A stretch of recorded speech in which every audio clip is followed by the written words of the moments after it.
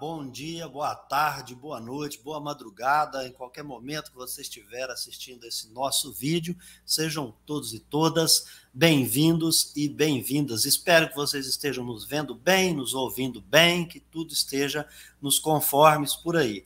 Nós estamos começando com esse vídeo uma série especial de vídeos de encerramento do ano de 2021 nós hoje vamos falar sobre a progressão do ensino dos espíritos, sorte da alma dos animais, vida futura.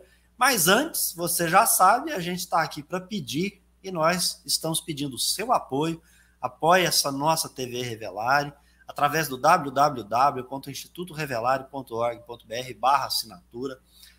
Vai lá, escolhe a forma melhor para você e nos ajude a manter para o ano de 2022 melhor e, e mais longe esse nosso modesto trabalho. E é modesto mesmo, porque é um trabalho aí em relação a muitos que existe, um trabalho simples, mas é de coração. Aqui a gente faz o nosso melhor.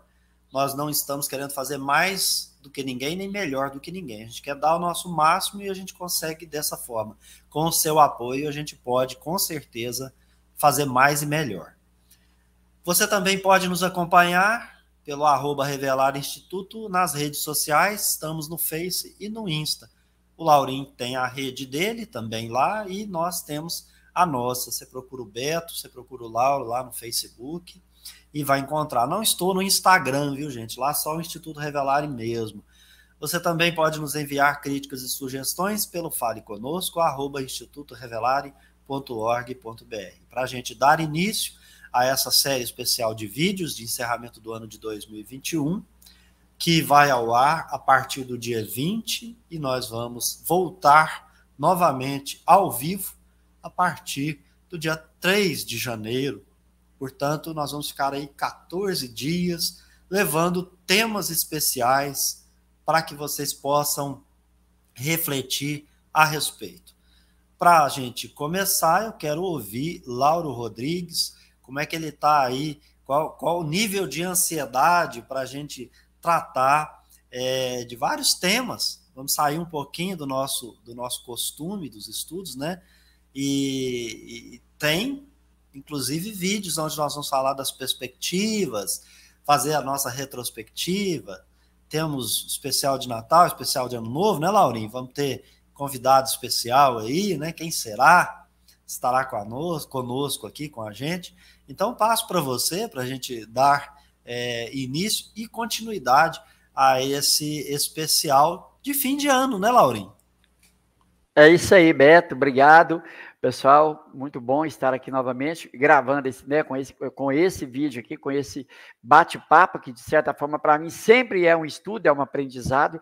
E Beto, e, e confesso para você que realmente gera uma ansiedade no sentido de que está tá chegando uma série de informações, de, de, de, de conteúdos da, da história da, do Espiritismo do século XIX, muito complexo e que, que demanda muito estudo. E eu, eu confesso que isso, para mim, é tudo muito novo, né? está muito linkado, como a gente sempre vai estar falando, à, à filosofia espiritualista, ao espiritualismo racional, ao espiritismo como desenvolvimento do espiritualismo racional.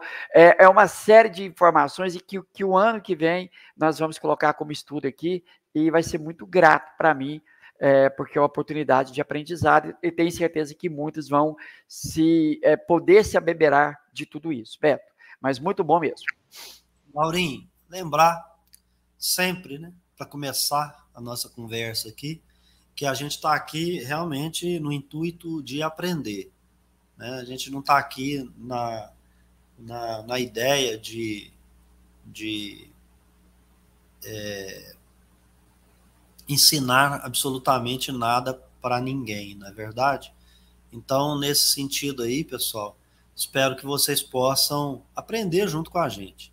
E hoje, né, Laurinho, a gente vai é, trazer aí esse, esse tema, progressão do ensino dos espíritos. Nós escolhemos dentro desse tema um subtítulo em que nós não vamos nos ater à ideia é, para discutir a ideia da sorte da alma dos animais, nem da vida futura. O objetivo não é esse. O objetivo aqui, Laurim, é que as pessoas possam verificar como que Allan Kardec parte de um raciocínio, de, de uma percepção, de um entendimento, de uma compreensão, e ele vai evoluindo junto com o ensinamento dos espíritos. Nós nos lembramos aqui para de partida já falar sobre que progressão do ensino dos espíritos é uma característica da revelação espírita. Está lá no capítulo 1 da obra Gênese, que vai tratar desse é, princípio aí, vamos dizer assim, né, do ensino dos espíritos. É, é, é, é praticamente um, um princípio. Ele é progressivo, ou seja, dá uma informação, traz uma informação, e depois, à medida que isso vai é, evoluindo, as informações vão sendo é, agregadas a outras informações. E a partir do processo intelectivo, do raciocínio e desse diálogo mantido, dessa comunicação com os espíritos, é, ocorre até uma mudança, às vezes, do próprio pensamento. Hoje, aqui, então, a gente traz essa informação para que as pessoas compreendam o caráter progressivo do ensino dos espíritos. Portanto, né, Laurim? É importante que a gente diga: nós não vamos estudar a alma dos animais, nem a sorte, nem a vida futura dos animais. Nós vamos trazer aqui é, um pensamento do, do, do Kardec a respeito desse é, da alma dos animais.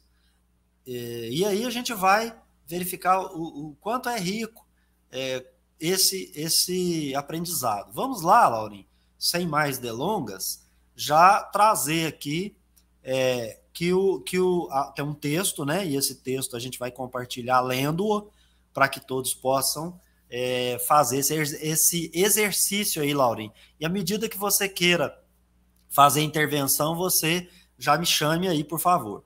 Então, é, no, no, nós vamos ter aí, né, é,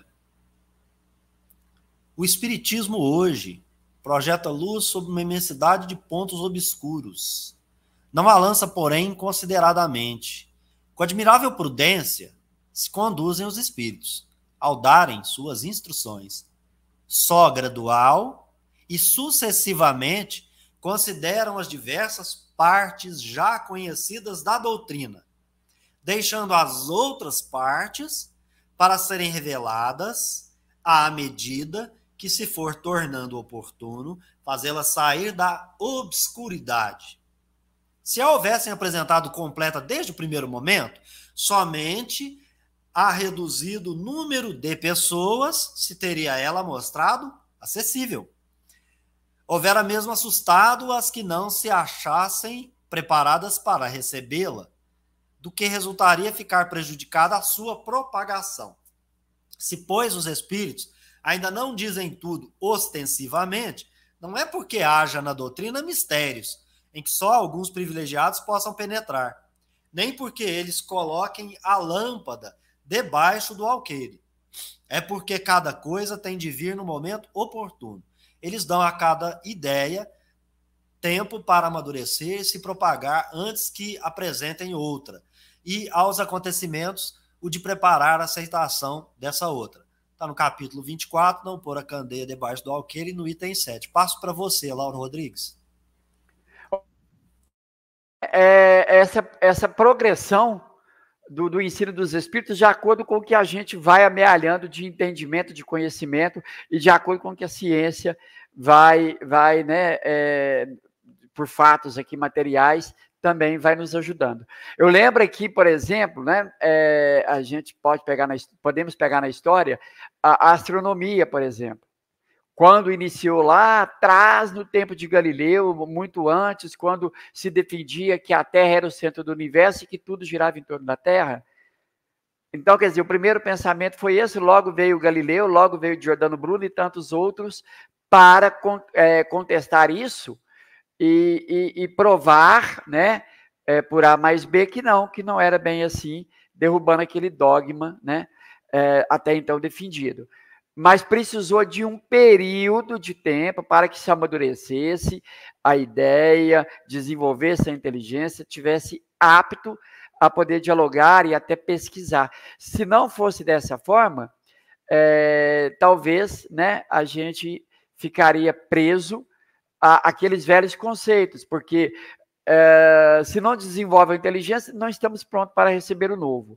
Se não estamos prontos para receber o novo, vamos ficar sempre com aquilo que é antigo, que não está correto. Então, precisa amadurecer essa ideia, viu, Beto? Mas passo para você. Vamos seguir, então, Laura, é, no seguinte sentido, né? Vamos destacar desse primeiro texto que está no Evangelho segundo o Espiritismo, é, alguns pontos aqui que eu a, acho relevante para a gente, então, tratar. Ah, com admirável prudência se conduzem os espíritos ao darem suas instruções, só gradual e sucessivamente, e consideram as diversas partes reconhecidas da doutrina, deixando as outras para serem reveladas à medida que for tornando oportuno fazê-las sair da obscuridade. Então não é uma coisa que chega e entrega de uma vez. Não é? É, eles dão algumas instruções e esperam amadurecimento ou, ou da repercussão dessa informação. Então é progressivo, mas há uma sucessão de informações. Por isso que o Kardec vai falar lá na Gênese que os espíritos controlavam quais eram os temas e assuntos que iam distribuir pelos grupos no mundo afora. Então, as diversas partes já conhecidas da doutrina precisavam amadurecimento. Por isso levou um tempo, né, gente? É, eu, eu, eu, certo dia, lendo uma outra informação, dentro da Revista Espírita, de 1863, o, o cara que escreve o artigo né, diz assim: ah, o Espiritismo entre nós há mais de 10, 12 anos. Eu falei assim: ah, mas em 63 já tinha 10, 12 anos, fiz a conta da por volta de 1849, 1850. E de fato, é, o Espiritismo já estava ali durante esse tempo, porque os primeiros 50 cadernos começam a ser produzidos a partir de 1849, não é por Kardec. Então, vai acontecendo uma, uma entrega de, de temas, de assuntos, para que eles possam ser amadurecidos. Lauro, e aí em seguida, nós também destacamos desse mesmo texto, né, que diz assim: se, pois, os espíritos ainda não dizem tudo ostensivamente, não é porque haja na doutrina mistério, é que só algum e que só alguns possam penetrar. Nem porque eles colocam a lâmpada abaixo do alqueire, debaixo do alqueire. É porque cada coisa tem que vir no momento oportuno. Eles dão a cada ideia tempo para amadurecer e se propagar antes que apresentem outra e aos acontecimentos de preparar a aceitação de outra, né? Aqui, Lauren, é muito interessante a gente poder destacar que também nesse texto o Espírito não usa palavra difícil, rebuscada, um ensino todo, todo é, erudito para determinada classe, porque está falando para os iniciados. Desculpe, isso é conversa para boi dormir. Os espíritos superiores e até os puros são muito objetivos e claros nas suas mensagens e informação, Laurinho. Queria te ouvir. Concordo, né? Tanto é que Kardec vai dizer, se fosse de outra forma, se, se, né, se ele fosse, o espiritismo fosse só para aquelas inteligências já desenvolvidas, seria uma minoria, né? É, então o espiritismo é para todos, só que é, é, as informações vão chegando à medida que nós vamos é, é conseguindo, pelo nosso esforço, e, e buscando. Beto, é, até lá na minha fala no início, a gente tem conversado muito sobre isso. Hoje nós estamos vivendo um momento de tantas informações em relação à, obra do céu e inferno, em relação à Gênesis. E, e nós estamos aí, dentro dessa, dessas essas é, informações, vindo outras embutidas que até então eram obscuras para nós, como, por exemplo, foi dito, espiritualismo racional. Como nós vamos entender o espiritismo? Kardec vai dizer assim: magnetismo e espiritismo são ciências gêmeas, são irmãs, são congêneras. Se separar uma da outra, ambas caem no impasse. Espiritismo sem espiritualismo racional, eu penso que seria a mesma coisa. Se eu não entender o espiritualismo racional, o, o que, que era o pensamento da época, fica muito difícil de eu conseguir progredir nas ideias que está estabelecida nas obras. Então, para mim, é, é, é muita coisa nova que está surgindo agora. Por que, que é novo? Porque, é, é, de acordo com o que a gente foi pesquisando, estudando, trabalhando, fomos encontrando pessoas, pesquisadores, que foram nos oferecendo é, essas, essas, essas notícias e que vai coadunando nos estudos, num outro entendimento. E assim se dá para tudo, né? se eu ficar de braços cruzados esperando cair do céu, eu vou ficar estagnado. É, é, então, progride à medida que eu busco também, né? Claro. Mas eu passo para você, Beto. Ô, Laurinha, tem uma questão muito interessante que a gente ficaria no campo da especulação, né? Nós temos um problema aí de, de informações novas, de alterações, adulterações, enfim, o nome que quiser dar para isso aí. E esse texto aqui ele é muito relevante, porque olha o que, que acontece aqui no finalzinho, Laurinho. Vai dizer isso aqui, ó. Eles dão a cada ideia tempo para amadurecer e se propagar, antes que apresentem outra. E aos acontecimentos, o de preparar a aceitação dessa outra. Nós chegamos no ponto, gente, de recuperar as ideias primitivas do, do, do grupo de espíritos que se comunicaram para trazer a doutrina, de modo é, sem, é, de modo que ela não tenha em torno dela aqueles ranços de religiões ancestrais. Então nós precisamos recuperar a essência do espiritismo através dessas obras. E a gente percebe aqui que tem um trabalho dos espíritos, Laura.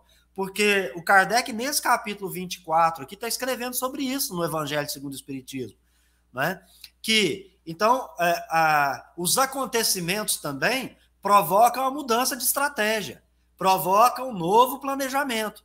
Então, o que, que aconteceu esses anos todos, aí, há mais de 100 anos? As pessoas, 100 anos, as pessoas ficavam abrindo Evangelho segundo o Espiritismo, aleatoriamente, e lendo uma ou outra questão de O Livro dos Espíritos. Poucos ou nenhum conheciam a Gênese, o céu e o inferno, e quiçá até o conteúdo do livro dos médiuns, né? Já que se proíbe, por exemplo, a evocação. Então, acho muito interessante a gente recuperar que eles dão a cada ideia um tempo para amadurecer. E nós chegamos no tempo de amadurecer essas ideias que estavam adormecidas e congeladas lá no século XIX, né? Mas vamos aqui, Lauro, passar para a informação de O Livro dos Espíritos, né? Estamos falando, Laurim, que há uma progressão do ensino. Então, temos no Livro dos Espíritos uma primeira edição de 1857. E, pasme, pessoal, tem uma segunda edição do ano de 1860.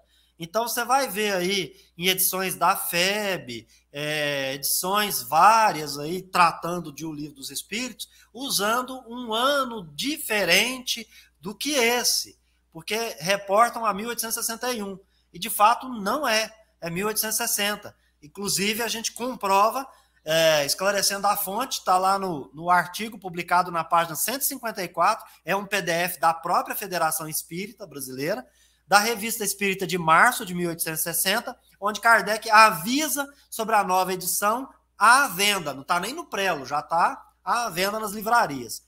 E o Canuto Abreu é, vai também mencionar né, que o livro uh, dos Espíritos, segunda edição, foi publicado em 18 de março de 1860. Pessoal, faz uma pesquisinha rápida na internet aí, vocês vão é, verificar essas informações. Antes de passar para o Lauro, né? Então tá aqui, nós vamos nessa questão da progressão do ensino dos espíritos, usar a informação contida no ano de 1857 sobre os animais, vida futura, sorte da alma, etc. E também vamos utilizar no socorrer da segunda edição de 1860, entre outras coisas, para falar da sorte dos animais, da vida futura, etc. Né? É, vou, vou também trazer aqui da primeira edição, na questão 127, Laurinho, do ano de 1857, fizemos uma tradução livre do francês para o português aí,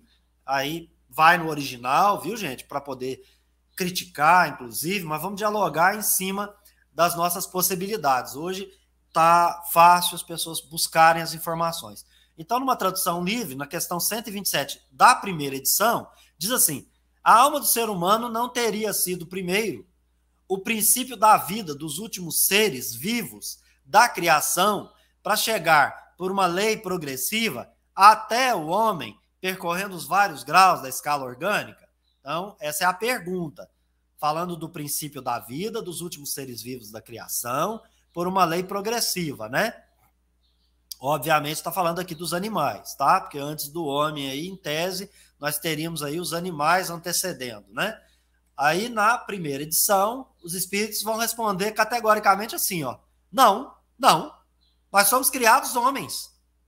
Ó, gente, esse espírito aqui, ele está lá na obra Gênese. Ele está lá na criação do Adão. Ele é um Adão que foi criado e foi colocado na Terra. Essa é a primeira resposta, de 1857. Não, não. Nós somos criados homens. Cada coisa progride na sua espécie e na sua essência. O homem nunca foi nada além de um homem. Olha que coisa, gente. Olha que coisa. Será que nós vamos ficar com essa informação? Bom, nós veremos aqui que a primeira edição de 1857 temos um resumo aí, viu, gente? Um resumo, tá?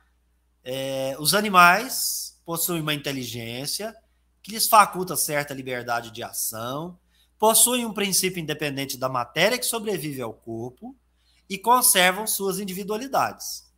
Eles estão sujeitos a uma lei progressiva dos homens, embora sempre inferiores e subordinados a esses. Presta atenção nos nuances, gente. Conservam suas individualidades, beleza. Será que no futuro nós veremos que eles conservam suas individualidades? Já podemos dizer que sim. Então, o conhecimento é progressivo. Nem tudo será aproveitado, mas nem tudo será descartado. a prudência e, e, e a paciência do Kardec e dos espíritos também, que deixavam os espíritos que não entendiam de tudo trazer seus sistemas para ver como nós os recebíamos. E depois ele prossegue, Laurim. Não, não conhecem Deus, constituem uma, uma categoria à parte no mundo espiritual e não podem ultrapassar certo grau de perfeição. Seu progresso se dá pela força das coisas e não há expiação para eles, né? Então vamos lá. É, essa aqui é a, a, questão 437. Tem mais. Já vou te passar, Laurinha. É muita informação. Questão 437b da primeira edição. Esse princípio que há nos animais será uma alma semelhante à do homem? Resposta: Não. A alma do homem é um espírito encarnado. Espiritualismo racional Mendes Birran. Mas para os animais é também uma alma, se quiserdes, dependendo do sentido que se der a palavra. Quem estuda o livro dos espíritos, que estudou animais, vai ver, vai verificar que essa resposta continua lá. Mas nem toda, gente. Ela vai ser trabalhada. Contudo, presta atenção, é sempre inferior à do homem. Há tanta distância entre a alma dos animais e a do homem quanto que existe entre a alma do homem e Deus. Na segunda edição, Kardec vai corrigir essa questão, Laurim. Em 597, ele vai dizer assim: é, porém, é, lá anteriormente está assim, é sempre inferior à do homem. Então, a fatalidade é sempre. O, o Kardec vai mudar pelos seus estudos dizendo assim: é, porém, inferior à do homem. Não é sempre. Por quê? Porque parece que há um problema da solução de continuidade. É um princípio inteligente. Então, é porém, é diferente de sempre. Sempre você faz uma lei. Porém, você dá uma variável, você traz uma possibilidade, você especula, né, é, Laurim? E aí, ele, ele, nós vamos recordar a primeira edição. Na primeira edição diz assim: os animais não conhecem Deus, constituem uma categoria à parte no mundo espiritual e não podem ultrapassar certo grau de perfeição. Beleza? Isso está lá. Na segunda edição, lá na 604 agora, 597 que a gente falou anterior, agora na 604 da segunda edição.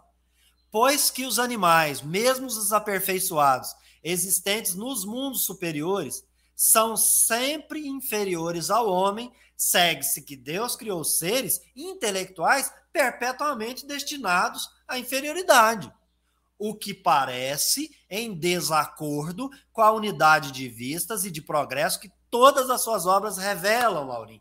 Olha o Kardec construindo uma afirmativa, questionando os espíritos e mudando na segunda edição aquilo que estava escrito lá, explicando. Falou assim, sempre, opa, sempre não, não condiz com Deus, não. Não está parecendo que tem Deus na conversa aqui, não. Não está parecendo que tem harmonia, né? E aí vai, vai prosseguir, vai dizer, é, agora trazendo o comentário dos espíritos nessa questão. E aí a gente traz essa parte que é relevante. Tudo na natureza se encadeia. Por elas que ainda não podeis apreender. Então tem isso na doutrina, gente. Coisa que a gente não tem condição de apreender, que a gente não conhece, está amadurecido para ter essa revelação. Assim, as coisas aparentemente mais díspares têm pontos de contato que o homem, no seu estado atual, nunca chegará a compreender. Nesse estado atual, não compreende. Se não evoluir, não compreende. Se não progredir, não compreende. Se não adquirir novos conhecimentos, não compreende. Por um esforço da inteligência, poderá entrevê-los.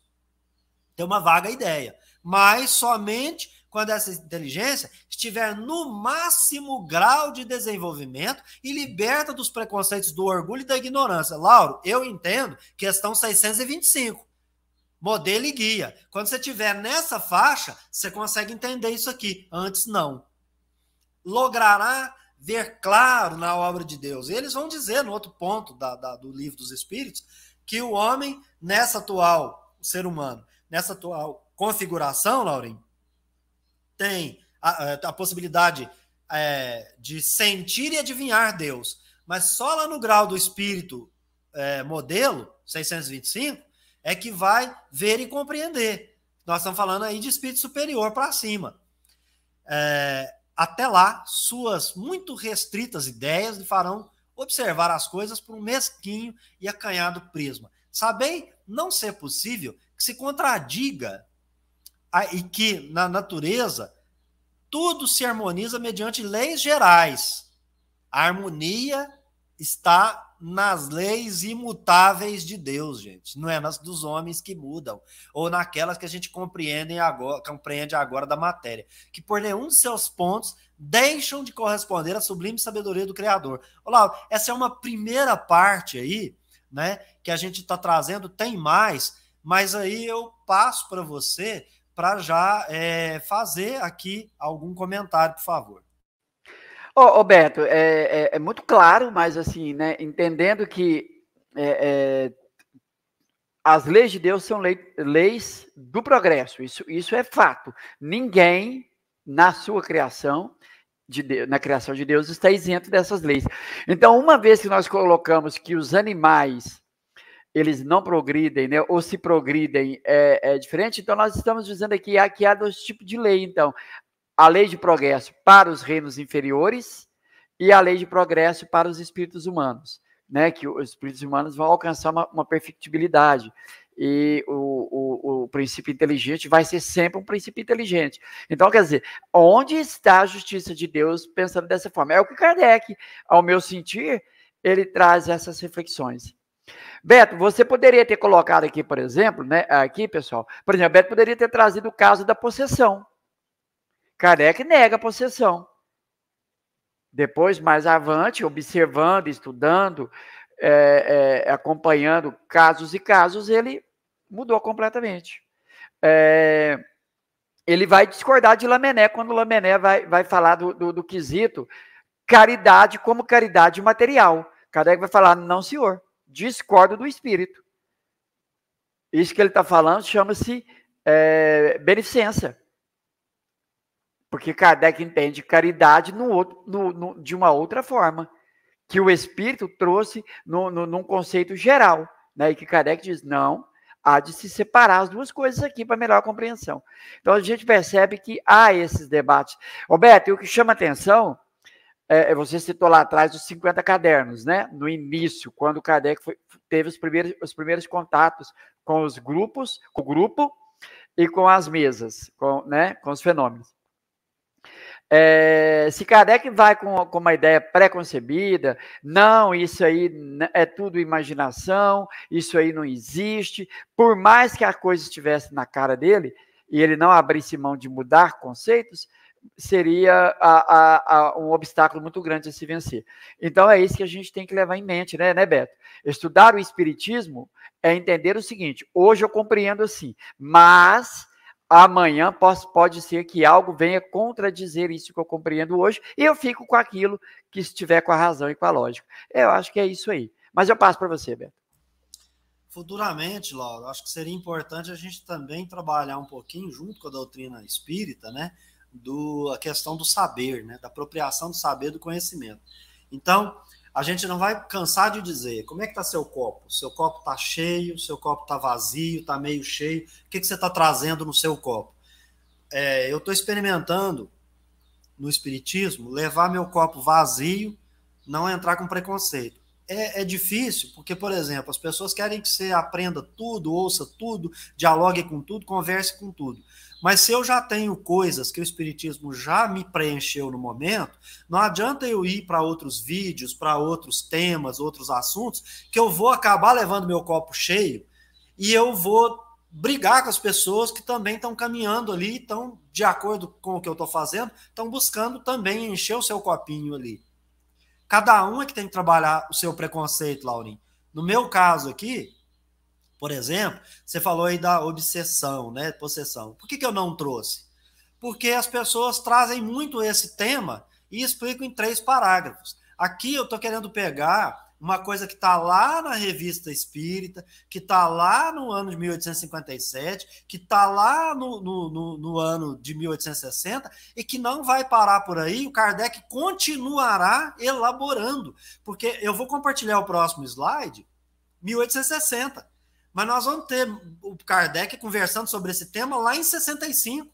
Vai trazer lá na, na Gênese, que é 68.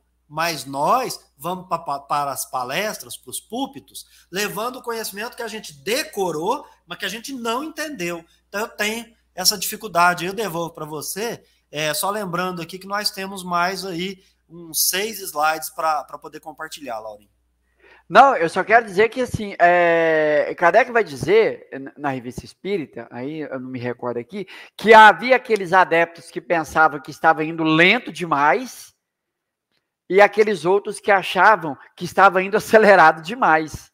Então Kardec vai dizer não, ao nosso sentir, nós estamos marchando de acordo com o que é possível. Eu acho que é isso, né, Beto? A gente tem que buscar sempre, mas não querer acelerar e muito menos não ficar muito lento, mas buscar, deixar a coisa acontecer. Bah, Beto, passo para você. Quer ver como é que eu é, trato essa questão? Por exemplo, por que, que o Kardec discutiu com Lamennais? Eu ouço isso há muito tempo, que Kardec discutiu com Lamennais. E eu sempre fiquei na minha. Eu sempre, o, o Laura é testemunha disso. A gente ouvindo amigos falar sobre isso, eu, eu até defendi no outro ponto de vista, porque é, o Lamené é um espírito que, que comenta no Evangelho segundo o Espiritismo, entre outros, outros comentários. E, e o que, que eu descobri? Que o espiritualismo racional já falava do ato do dever, da caridade desinteressada, e é por isso que o Kardec, tendo uma base filosófica, argumentou com Lamené que viveu na Terra e que também estudou os mesmos temas e que vai dizer faz sentido o que você está falando, quem está errado sou eu. Essa é uma questão. Agora, o Kardec não tirou nada da cabeça. O que eu queria dizer só com esse comentário é para a gente não achar que eu posso discutir com o Lauro sem ter conhecimento. Se ele tem um conhecimento eu não tenho, eu vou falar da minha cabeça, porque eu acho que não é. Não, o achismo está fora. Acho que é isso que a gente precisa é, é, se, se preocupar, né? Trazendo aqui mais um slide, Laurinho, né? Vamos para a questão é, 613, né? Que, que pensam os espíritos a respeito das relações existentes entre o homem e os animais? Questão 613, lá de 1860. Não perca a progressão em anos do pensamento. Segundo uns, o espírito não chega ao período humano, senão depois de se haver elaborado e individualizado nos diversos graus dos seres inferiores da criação. Segundo outros, o espírito do homem teria pertencido sempre à raça humana, sem passar pela fieira animal. Isso é Allan Kardec fazendo uma afirmativa a respeito de dois sistemas, de duas teorias e ou caso queiram aí das hipóteses. Por quê? Você só pode tratar no campo das hipóteses. É preciso saber que estamos em campo das hipóteses. Os espíritos podem nos informar a partir da sua ciência do mundo espiritual, mas nós aqui nós não temos ainda como abarcar pelo, pelo olho humano, olho espiritual, a evolução do princípio espiritual. Os espíritos é, também têm um conhecimento sobre muita coisa é, restrito àquilo que eles podem conhecer. Conhecem mais que nós, os superiores, mas não conhecem tudo.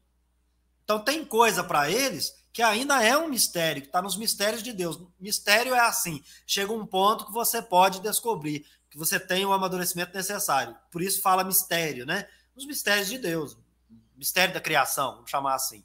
Então, aqui, Laurinho, 613, o Kardec faz um, um, uma explicação muito bem elaborada, e aqui a gente buscou fazer um resumo que pode não conter é, a totalidade de informações, e eu diria para as pessoas buscarem generosamente estudar lá nessa edição de 1860, questão 613. Aí o Kardec faz uma digressão a respeito do pensamento dos espíritos e daquilo que o Kardec pensa. Porque ele está pensando em cima do ensino dos espíritos, é bom que se diga. Então, ele está falando daqueles dois sistemas. Vamos aqui, é, para não se perder, a, a lembrar que, segundo uns, espírito chega ao período humano depois de haver se elaborado e se individualizado nos graus diversos dos seres inferiores da criação. Presta atenção. Olha isso. Esse é um primeiro. O segundo, ele teria pertencido sempre à raça humana, sem passar pela fieira animal. De que, que ele está falando? Do espírito com E maiúsculo, não do princípio inteligente. Presta atenção. Vamos ver o que, que o Kardec vai falar sobre isso. O primeiro sistema coloca animais como primeiros elos da cadeia dos seres pensantes. O segundo é mais conforme a dignidade humana. Esse é assim resumido. O segundo. As diferentes espécies de animais não procedem intelectualmente das outras, mediante progressão Cada espécie constitui física e moralmente um tipo absoluto. Em qualquer mundo, constituem raças distintas e conforme o adiantamento dos habitantes do planeta, sendo seus auxiliares, e não procedem da terra, espiritualmente falando. Então não há degredo para os animais. Não há isso também não, não há o animal saindo daqui para reencarnar num animal superior, assim, assim, assim, no outro mundo. É isso que ele está dizendo. Então, ele falou do ponto de vista físico. E agora ele vai dizer: do ponto de vista moral, há interrupção. O homem possui como sua propriedade a alma ou o espírito, que lhe confere o senso moral e alcance intelectual que falta aos animais. Então ele está dizendo o seguinte, gente: o patrimônio do ser humano, que é senso moral, constitui um ponto de diferença que diz assim: aqui acabou, não tem continuidade. Solução é ponto final. Daqui para frente, é, é, aqui há uma uma interrupção, e aqui agora nós temos um espírito, que esse espírito é que desenvolve o senso moral. Olha, não se sabe a origem do espírito, seu ponto inicial, ou se se forma do princípio inteligente individualizado. Entenderam isso? Isso precisa ficar claro.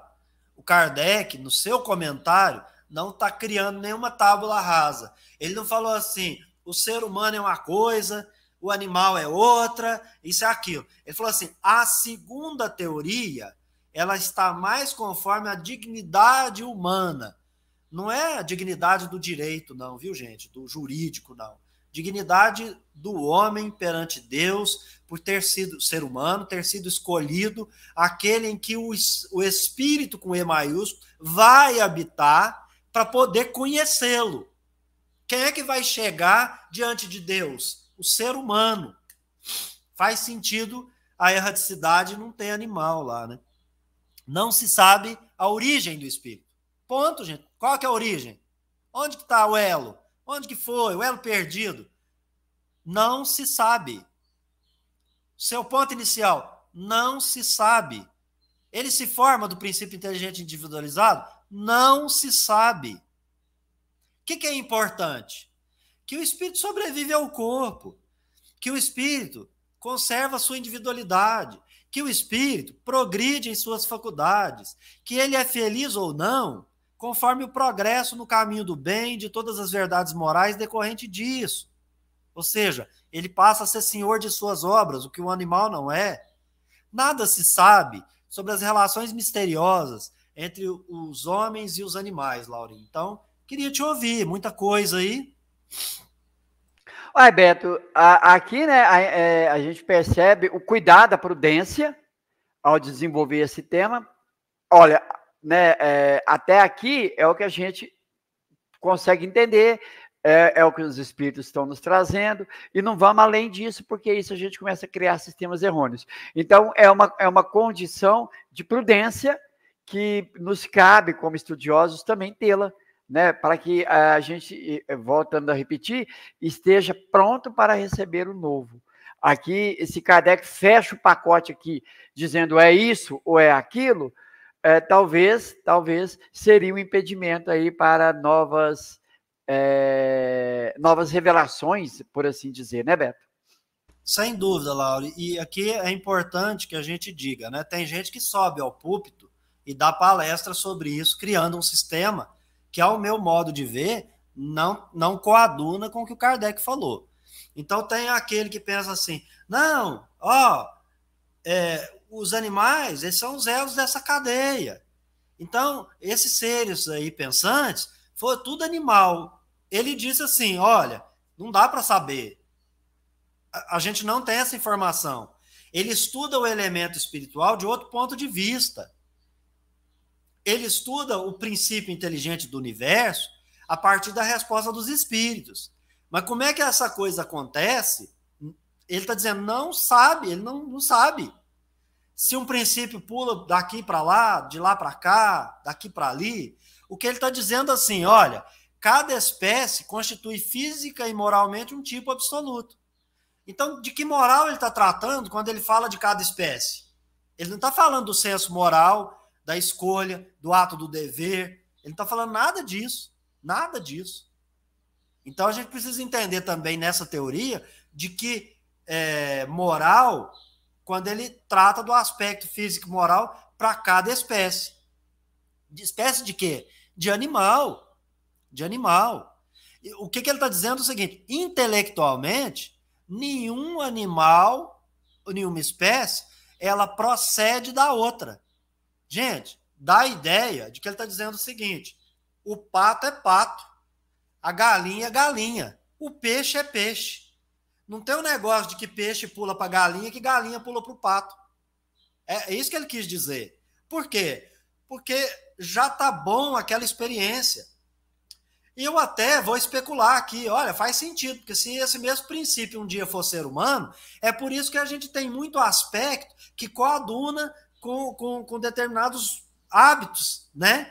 Que você talvez adquira no tempo que você foi, se é que é possível dizer isso, né? Que, que, que, que era princípio inteligente é, em alguma espécie. Mas estou especulando, porque nem o Kardec vai dizer isso. Então nós vamos ficar aqui no campo do maravilhoso, de se maravilhar com a teoria e ficar por isso mesmo, sem briga, porque o mais importante está no final, né? Que ele vai dizer ali né? O mais importante está no final, é estudar o espírito e o que que nos interessa para poder reformar-nos e progredirmos, né? Do ponto de vista moral, ele está dizendo tem interrupção, Não, não, não, não queira pegar o, o espírito humano nas primitivas reencarnações e compará-lo aos animais. Não tem isso. Até eu estou me corrigindo, porque eu já fiz isso. Mas às vezes a gente faz sem ter lido a teoria a fundo, prestando atenção nos nuances, né? Maravilhoso. Como eu, meu copo está sempre vazio ou meio cheio, ele tem lugar para mais aprendizado. Laura, eu queria compartilhar a revista é, de 1865, abril. Destruição dos seres vivos uns pelos outros. Está lá em abril de 1865.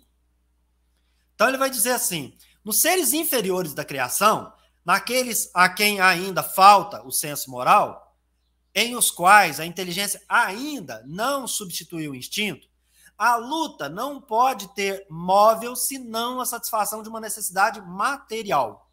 Ora, uma das mais imperiosas dessas necessidades é a da alimentação.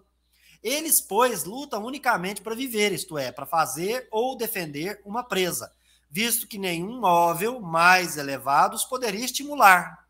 É nesse primeiro período que a alma se elabora e se ensaia para a vida. Então, agora, o Kardec está trazendo um conhecimento em 1865 que agrega valor naquela teoria. Porque agora ele está dizendo que ele já detectou que há um período que a alma está se elaborando. Os espíritos foi, foi trazendo informações para ele. Conserta aqui, conserta lá. Ó, oh, não tem essa de Adão. Adão teve, tem CPF. Adão foi colocado ali por Deus e tal. Não, vocês vão perceber que até o Kardec tem uma teoria para como é que chega no corpo do Adão, mas eu não vou dar spoiler ainda, né? Então ele vai dizer: quando a alma atingir o grau de maturidade necessário, a sua transformação recebe de Deus novas faculdades. Olha que maravilhoso. Sabe por que ele está falando isso? Porque lá naquela 613 ele falou assim: não sabemos. Então ele falou assim: olha, tem um momento que está maduro, então Deus dota das faculdades ou elas despertam, ou dota pela lei natural. Bom, se o universo está se harmonizado pelas leis naturais, Laurim, não tem outro, outro método de interpretar Deus aqui, senão lei natural, onde a faculdade desperta, porque já atingiu determinado ponto. Lei natural. Vai, é, será assim é, para todos.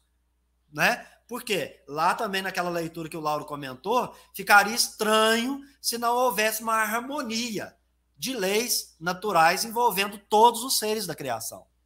Quando a alma atingiu o grau de maturidade necessário, ela recebe então essas novas faculdades. Quais são elas? Livre-arbítrio e senso moral. Numa palavra, isso é que é a centelha divina das escrituras. Livre-arbítrio e senso moral. Por quê? Porque a partir daí que você vai ter a condição, ou terá a condição, ou atingirá a condição de ver e compreender a divindade. E isso é, é isso é, é, é, é, a imagem de Deus. A imagem de Deus é o quê? A perfeição, a suprema bondade, o bem, tudo isso. O que, é que nós devemos fazer? Nos moldar a essa imagem. Que aí, quando eu já tiver moldado assim, então eu posso vê-lo e conhecê-lo. Porque aí, de fato, eu tornei Deus a minha imagem de perfeição, porque eu quis e me imaginei dessa, dessa maneira para poder estar diante dele, que é o bem, o dever, tudo que está na gente aí, né? Nós podemos ser o mauzão hoje, mas vamos ser o bonzão depois, né? No sentido é, divino da palavra. Que dá um novo curso às suas ideias e vão dotá-lo de novas aptidões e percepções, para que ele então possa escolher. As novas faculdades morais de que é dotado, da alma é dotada, só se desenvolve gradualmente, pois nada é brusco na natureza. Eu vou mais um pouquinho, Laura. Isso aí é a destruição dos seres vivos uns pelos outros. Vamos aqui ó, na concordância do ensino dos espíritos, Revista Espírita de abril de 1865, uma nota do Kardec. Como se vê, essa explicação se prende à grave questão do futuro dos animais. Vamos, vamos interpretar Kardec. Kardec está dizendo assim: escrevemos algo na primeira edição de 57 do Livro dos Espíritos. Escrevemos mais na segunda edição do livro dos Espíritos. Qual questão? A questão do futuro dos animais, da sorte da alma dos animais. Então, a revista espírita é importante instrumento para ser estudado como progresso do ensino, e ele vai dizer: eu não preciso fazer nova alteração. Aqui essa explicação tá boa, porque lá no livro dos médios eu disse que esse, essa revista tem que ser estudada junto com o livro dos espíritos, concomitantemente. Porque aí a gente compreende melhor.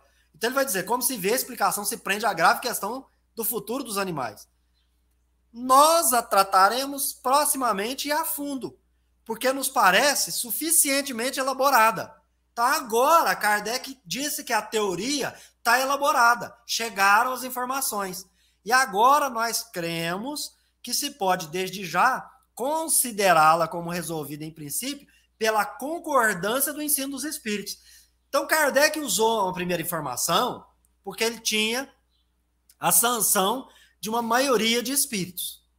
Depois, ele questionou e preencheu os vazios. Ele deu um salto e melhorou a teoria. E isso, inclusive, discordando das teorias de sua época, que eram coisas relacionadas, Laurim, com a ciência da época. Teoria, que não. E aí ele foi questionando os espíritos, estudando. Em 65, depois do que a gente já se apropriou ali, ele vai dizer assim: tem uma concordância do ensino dos espíritos, mas é preciso entender que nessa concordância tem razão, lógica e bom senso. E, inclusive, essa concordância, nós falaremos disso num próximo vídeo, né? Que é conhecendo um pouquinho mais da história do Espiritismo. Ô, Lauro, aqui, né, nesse, nesse próximo, nós vamos ver que ele vai falar da geração espontânea na Gênese, mas quero te ouvir. Beto, é, eu, eu vou usar uma analogia boba aqui só, só para encher linguiça mesmo. Eu imagino que é tipo assim: eu estou em cima do muro, pendo para um lado, mas eu não tenho certeza ainda, tudo ainda né, é, é, é obscuro. Agora aqui Kardec já assume uma postura diferente. Não, agora aqui podemos dizer que isso está resolvido como um princípio, porque os espíritos trouxeram é, informações, né, de forma que nós possamos agora tornar isso muito mais conciliável com, com o, a, a, os estudos, com a razão e com a lógica. E, e, é assim que se, se faz espiritismo, né? né? É assim que se desenvolve, que faz ciência. Não é, é catando aqui a colar, acreditando é, ser o correto. Né? E é isso que Kardec veio desenvolvendo. E a gente perceba que de 60, olha, de 57 e 60 são em cerca de três anos, até 65 são mais cinco anos. Então, de, são oito anos que separam, né? de 57 até a Revista Espírita de 65. Então, é um período de muito estudo, de muita observação. Com certeza. Mas eu passo para você, Beto.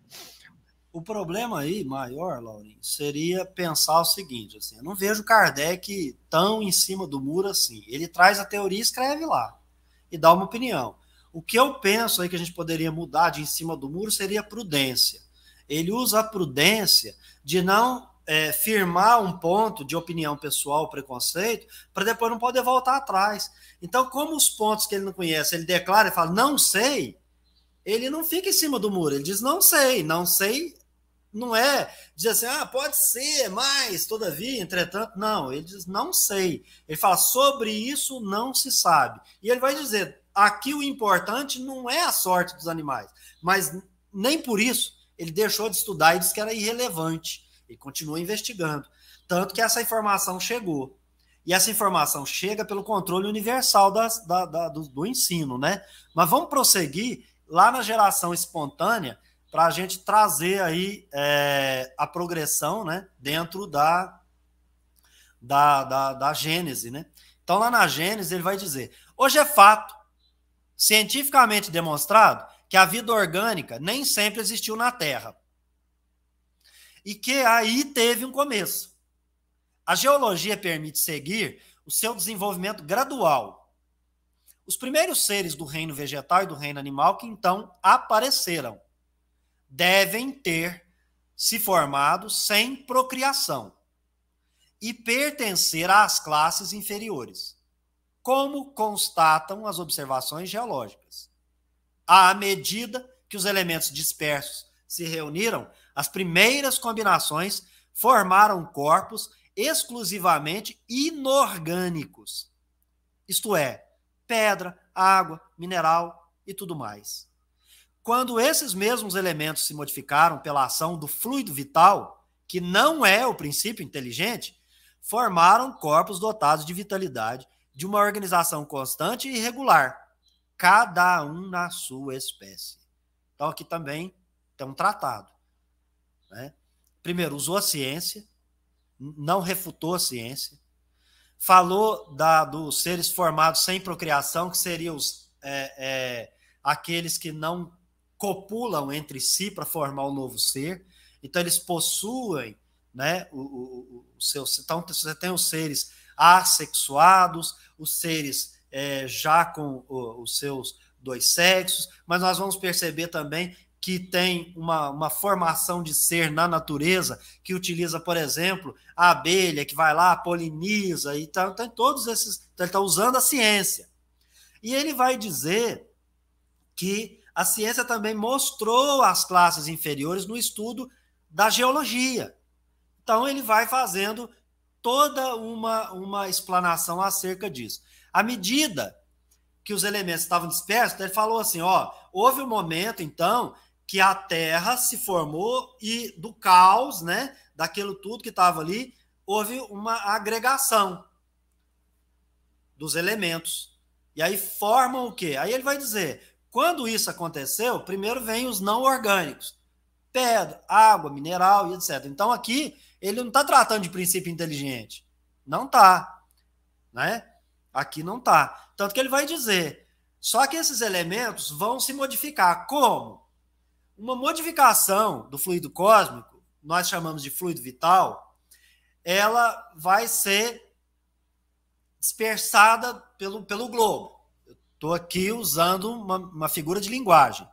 Esse fluido vital encontrar, em contato com a, os elementos exclusivamente não orgânicos, eles darão origem àqueles que estão prontos e preparados para se tornarem os orgânicos. Como que é isso? Cara, não sei. Se o Kardec não sabe, os espíritos não explicaram, não vamos ficar presos a isso. Vamos prosseguir. E aí, esses corpos, que são, portanto, gerados espontaneamente, formam os corpos dotados de, vida, de vitalidade, que vão possuir uma organização constante e regular, cada um na sua espécie, e tem então o quê? Lei natural regendo. De quem que é a lei natural? De quem criou. Então você sabe qual é a lei, como é que é, como é que funciona? Nós não podemos estudar isso. A gente fica na mesquinharia de estudar lei da física, lei da matéria e querer irradiar isso e obrigar Deus dentro desse modelo. Não vai rolar. Mas aí, Lauren, antes de passar para você, ele continua. Assim como a cristalização da matéria bruta não ocorre senão quando uma causa acidental vem se opor ao arranjo simétrico das moléculas, ele está usando uma ideia tá, da ciência como é que cristaliza a matéria bruta e como é que ocorre uma transformação. Então ele diz assim, ó, depende do tempo, depende de coisas, né? Então tem uma causa lá, é, acidental não é acidente, acidente é uma coisa que aconteceu, né? Não, o acidente ali é do ponto de vista científico. Então ele está usando essa expressão, uma causa acidental. Então tem que ter essa causa para dar start no próximo passo. Os corpos organizados se formam desde que as circunstâncias favoráveis estejam presentes. Então, que, que ele está dizendo? Por exemplo, temperatura? Temperatura. Umidade? Sim. Repouso ou movimento? Uns vão precisar estar movimentando, outros vão precisar estar parado, inerte, em repouso. Uma espécie, por exemplo, de fermentação? Sim. Vivificadas pelo pelo fluido vital? Perfeito. Kardec está olhando, gente, um, um, um, ponto e fazendo uma observação e usando isso para o Espiritismo. Quer ver? é o que se vê em todos os germes, em que a vitalidade fica latente durante anos e séculos e se manifesta num dado momento quando as circunstâncias são é, favoráveis, propícias. Aí ele vai dizer, Laurim, os seres não procriados formam, pois, o primeiro escalão dos seres orgânicos. E variabilidade, provavelmente, serão contados um dia na classificação científica. Quanto às espécies que se propagam pela procriação, uma opinião que não é nova, mas que hoje se generaliza sobre a égide da ciência, comando da ciência, é que os primeiros tipos de cada espécie são produto de uma modificação da espécie imediatamente inferior. Ó, Kardec já agrega lá naquele comentário da 613. Então ele falou assim: a ciência está mostrando que tem um ponto de convergência. Ele vai até, em dado momento, gente, perguntar sobre uma planta que ela tem uma sensação e se ela não seria o ponto ou o elo é, entre vegetal, animal e tal, porque ele está construindo a teoria. Então vamos estudar isso no todo, né? Aqui a gente só está trazendo uma ideia, né? Bem, bem é, modesta. Assim, se estabeleceu uma cadeia sem interrupção, desde o musgo e o líquido até o carvalho, para os vegetais, e depois o zoófito, o verme da terra e o ácaro até o homem. Mas ele está usando agora, gente, a botânica, a ciência de sua época, durante o percurso inaugurado pelas ciências anteriores, pela, pela filosofia anterior, passando pelo Espiritismo e chegando aqui na Gênese, é, usando todos esses conhecimentos que ele prova com a ciência. Então, lá atrás, ele falou assim: tem solução de continuidade, do ponto de vista moral. E agora do físico? Do físico, parece que uma vai modificando pela outra. Então, o que, que ele descobriu? Ele descobriu ali que o orgânico pode ser modelado. E que essa modelação está acontecendo ali por algum motivo. Não vou entrar nesse mérito aqui. Né? Mas quando se aproximam todos os, se aproximam todos os elos intermediários, encontra-se uma filiação, Lauren, sem solução de continuidade. O Kardec mudou a teoria, porque o cara lê lá, tem solução de continuidade, aqui não tem. Então, progrediu, não progrediu. Aí, Laura, para a gente é, encerrar, eu trago o Darwin né, na foto e vou complementar com a revista Espírita, baseado né, na, na, na, na, na Gênese, né? Que aí tá tudo ali dentro da mesma Gênese, né? Da mesma construção, da, é, da mesma origem. E aqui, então, com a Revista Espírita de julho de 1868. Os partidários dessa teoria, desta teoria, que, repetimos, tende a prevalecer e a qual nos ligamos sem reserva, estão longe de todos os espiritualistas e ainda menos os espíritos. Ele está falando de uma teoria da evolução, né, é, é, é, dos seres lá, ele está falando de Charles Darwin. Então, vai lá na Gênesis capítulo 11, número 15, dá uma estudada e vai na Revista Espírita de julho de 68 para dar uma estudada no tema, se você achou relevante, né? Para poder apreender mais aí, Laurinho. Os partidários, então, né, dessa teoria, é, que, que ele, Kardec, está filiando, sem reserva, e que ele entende que vai prevalecer, e ele fala assim: essa teoria não é nem de espírita e nem de espiritualista, é do materialista. Não considerando-se não a matéria, fazem abstração do princípio espiritual inteligente. Essa questão de abstrair do princípio inteligente não é, é, vai prejudicar em nada. Ele vai dizer aqui, ó. Essa questão, pois, nada prejulga sobre a filiação desse princípio da animalidade na humanidade. Então, assim, eles fazem abstração, nós espíritas não. Mas isso não é, implica a gente não aceitar a, a, a teoria. É uma tese que não vamos tratar hoje, mas que já se debate em certas escolas filosóficas não materialistas, ou seja, naquelas que já estão caminhando para os espiritualistas. Né? Não se trata, portanto, senão do invólucro carnal distinto do espírito, como a casa o é de seu habitante. Então, o corpo do homem pode ser perfeitamente uma modificação do corpo do macaco, sem que se conclua que seu espírito seja o mesmo do macaco. Ele volta a afirmar o que ele disse na 613, mas ele vai dizer que, de repente, para aquele período pré-humano, né, que a gente já estudou também sobre isso, mas vai lá dar uma olhadinha, essas inteligências subhumanas, pode ser o espírito já com E, vindo a habitar um corpo para modelar e já transformá-lo naquele corpo que ele vai usar como humano. E aí, por que, que ele está dizendo isso? Porque na evolução das espécies tem aqueles desenhinhos e tem as pesquisas né, paleontológicas, é, é, entre outras, que mostram lá a, a, os crânios né, dos homens disso, daquilo, daquilo outro e das semelhanças que tem com o macaco. Laurim, era isso aí que a gente tinha para compartilhar, eu devolvo para você. Roberto, o, o, que eu tenho a acrescentar é, né, é que uma vez estudado toda essa linha de raciocínio do início, né, onde é, as primeiras informações tinham ser limitadas, ouvindo opiniões de espíritos que também ah, tinham informações, conhecimento limitados. Então, percebam que de, de lá até aqui, olha, 1868, houve-se uma evolução na ideia desse, desse princípio aqui. Agora, imagina de tantos outros princípios, né? Como, por exemplo, até da própria reencarnação, onde o próprio Kardec, né, ele sentiu dificuldades em aceitar e compreender a reencarnação. Houve diálogo, houve, precisou de um período de tempo para amadurecer a ideia. Eu, eu, eu penso que não seria diferente. Agora, o que chama atenção é, bom, se há um ponto, se, não, se, se, se a gente percebe que de uma espécie para outra existe uma transição, né, é, no campo material, por que não aceitar que né, esse princípio inteligente ele não venha estagiando nessas transições todas até chegar a uma fase luminal. É muito racional, né, Beto? Mas é isso aí, valeu, foi muito bom. E, Beto, já vou me despedindo aqui, agradecendo mais uma vez por esse estudo. Obrigado, pessoal, fiquem com Deus.